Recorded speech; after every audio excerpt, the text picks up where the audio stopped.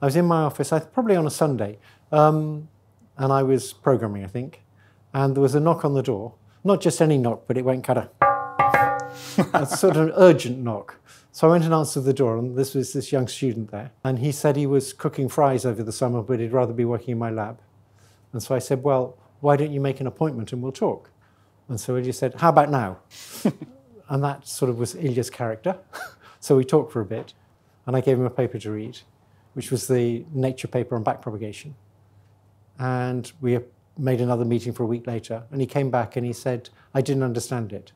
And I was very disappointed. I thought he seemed like a bright guy, but it's only the chain rule. It's not that hard to understand.